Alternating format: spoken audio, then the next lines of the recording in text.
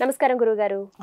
ధనురాశి వారి జాతక ఫలితాలు శోభకృత్నామ సంవత్సరంలో ఏ విధంగా ఉన్నాయో తెలియచేస్తారా ధనుర్రాశి రాశి చక్రంలో తొమ్మిదవైనటువంటి రాశి.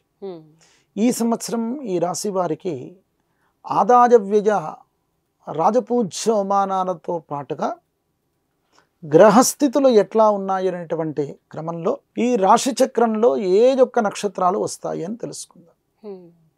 మూలా నక్షత్రము పూర్వాషాఢ నక్షత్రము సంపూర్ణంగా నాలుగు నాలుగు పాదములు ఉత్తరాషాఢ నక్షత్రము ఒక పాదం వరకు కూడా ఈ రాశి వారికి వర్తిస్తుంది ధనురాశి వారికి ఎనిమిది రాజ ఆదాయం అయితే పదకొండు వ్యయమైంది అంటే వీరికి కూడా పాప తక్కువగా ఆదాయం అనేటువంటిది ఉంది.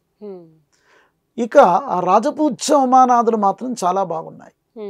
ఆరు రాజపూజ్యము మూడు అవమానము. అంటే సంఘంలో అందరికంటే చాలా ఉత్తమమైనటువంటి స్థితికి వెళ్ళేటువంటి వారు. రాజకీయాల్లో ఉన్నటువంటి వారికి ప్రొఫెషన్స్లో ఉన్నటువంటి వారికి చాలా పేరు ప్రతిష్టలు రావడానికి ఈ ధనుర్రాశి వారికి చాలా యోగతుల్యమైనటువంటి కాలము. కనుక ఈ రాశిలో ఉన్నటువంటి రాజకీయ నాయకులకు చాలా సత్ఫలితాలు కూడా లభిస్తాయి ఈ రాబోయే ఎలక్షన్స్లో కూడా. సంఘంలో కూడా చాలా మంచి పేరు ప్రతిష్టలు కూడా కలుగుతాయి. వారికి తృతీయ స్థాన స్థిత శనీశ్వరుని యొక్క ఫలితం చేత మంచి ఆరోగ్యం కూడా సమకూరుతుంది.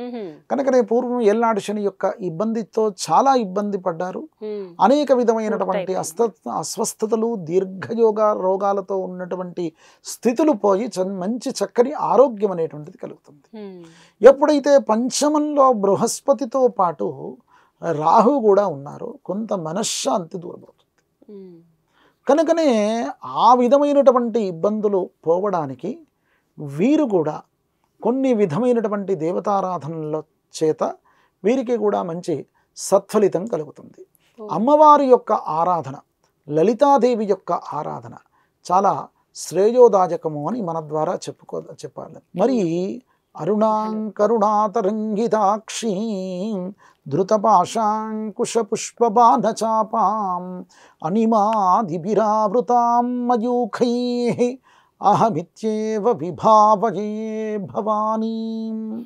ध्यायेत्पद्मासनस्तां विकसितवदनां पद्मपत्रायदाक्षीं हेमाभां पीतवस्त्रां పీతవస్త్రాం కరకలితలసద్దేవ పద్మాం వరాంగీం సర్వాలంకారయుక్తాం సతతమభయతాం భక్తనం బ్రాంభవానీం శ్రీవిద్యాం శాంతముహూర్తిం సకలసురనుతాం సర్వసంపత్ప్రదాత్రీం. అని ఆ అమ్మవారి యొక్క ఆరాధన చేసుకోవడం చేత పంచమస్థాన స్థిత రాహు యొక్క దోషము.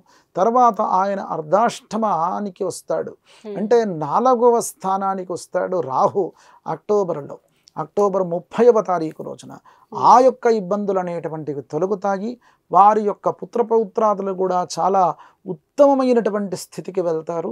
పంచమ స్థాన బృహస్పతి ఉన్నారు కాబట్టి వారికి కూడా చాలా మంచి నిర్ణయాత్మకమైనటువంటి పరీక్షలు కానీ ఇంకేదైనా కానీ చాలా ఉత్తీర్ణులు కావడానికి అవకాశం ఉండేటువంటిది.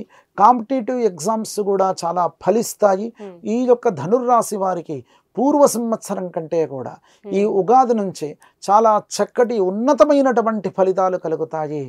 పెట్టినటువంటి ఇంకొక అంశం కూడా ఉండేది. మనిషికి ఏదైనా కష్టం చేస్తే చేసిన దానికి ఫలితం రావాలని దానం చేస్తే ఎట్లీస్ట్ ఎదురు ఎడ్డివాడు తిట్టుకోవద్దు అనేటువంటి అంశం కూడా ఆ దానికి సంబంధించిన పేరు ప్రతిష్టలు కలుగుతాయి. అంటే వీరు పది రూపాయలు దానం చేసినా కానీ వంద రూపాయల ఆ, యొక్క పేరు వస్తుందా? కనుకనే రాజకీయ నాయకులకు మీరు ఈ రాశి వారికి ఎట్లా ఉంటుంది అన్నారు. రాజకీయ నాయకులకు కావాల్సింది అదే కదా. కనుకనే ఈ యొక్క ధనుర్రాశిలో ఉన్న రాజకీయ నాయకులకు చాలా శ్రేయోదాయకమైనటువంటి అంశాలు. ముఖ్యంగా తల్లిదండ్రుల్లో కూడా మంచి సంబంధాలు అనేటువంటి ఏర్పడతాయి. పూర్వం. చాలా సన్నగిన్నినటువంటి విషయాలు ఏవైతే ఉన్నాయో. అవన్నీ కూడా చక్కబడడానికి అవకాశం ఎక్కువగానే ఉండేటువంటి స్థితిలో ఉంటాయి.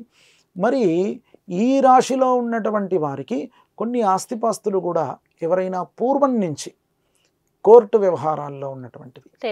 అవన్నీ కూడా తేలి వారి సంవత్సర అంతంలో రెండు వేల ఇరవై మూడు చివరిలో కానీ ఇరవై నాలుగులో ప్రారంభంలో కానీ వారికి మంచి సత్ఫలితాలు వచ్చి అవన్నీ కూడా తిరిగి లాభం పొందడానికి చాలా అవకాశం. అవకాశము.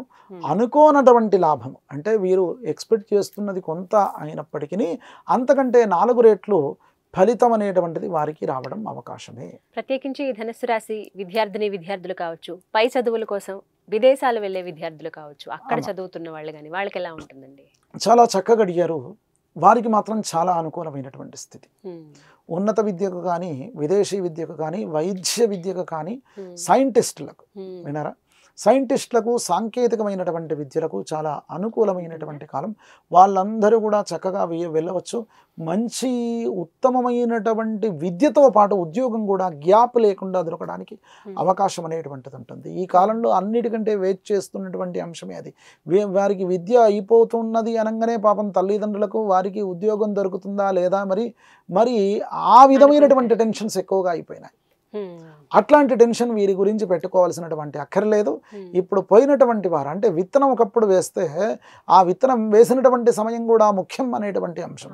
అంటే యోగతుల్యమైనటువంటి పీరియడ్లో వారు మంచి నిర్ణయం తీసుకొని మంచి స్టెప్ వేస్తే తర్వాత దోషాలున్నా కానీ యోగంలో విత్తనం వేశాం కాబట్టి.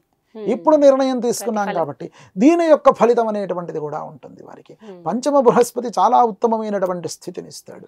కనుకనే వారికి మంచి విద్య అనేటువంటిది ఖచ్చితంగా అబ్బుతుంది మంచి సత్ఫలితాలను పొందుతారు సంవత్సరార్థం తర్వాత అంటే అక్టోబర్ తర్వాత ఇంకా ఉత్తమమైనటువంటి ఫలితాలు పొందడానికి అవకాశం గురుగారు మరి ధనుసు రాశి వారు శుభ ఫలితాల కొరకు ఎటువంటి పరిహారాలు చేసుకుంటే మంచిది ఇందాక? కూడా చెప్పాను వారికి అమ్మవారి యొక్క ఆరాధనే అత్యంత శ్రేయోదాయకమైనటువంటి అంశము అందరూ కనుకనే.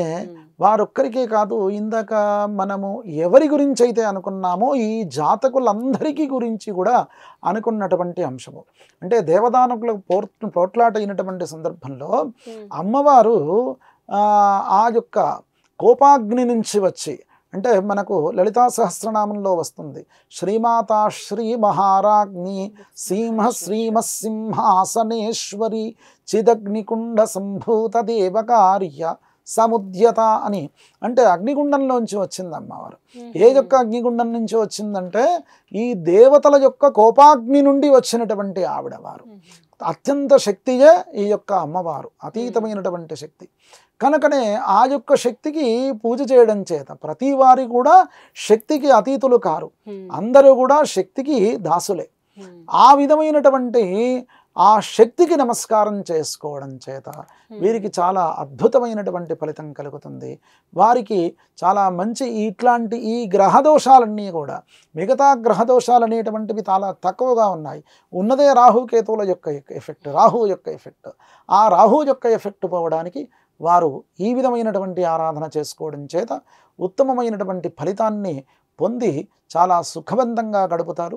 మళ్ళీ వారి కుటుంబ సౌఖ్యం అనేటువంటిది ఏర్పడుతుంది. ఎక్కడో ఉన్నా కానీ చాలా కుటుంబంలో ప్రశాంతత ఉంటేనే కదండి. మరి ఇంకేదో మనం ఎంత ఎంత పేరు ప్రతిష్టలు వచ్చినా ఎంత ఆదాయం వచ్చినా ఇంటికి వెళ్తే మనశ్శాంతిగా ఉండాలి. కనుకనే ఆ విధమైనటువంటి మనశ్శాంతులన్నీ కూడా మీరు ఈ అమ్మవారే మీకు ప్రదాత.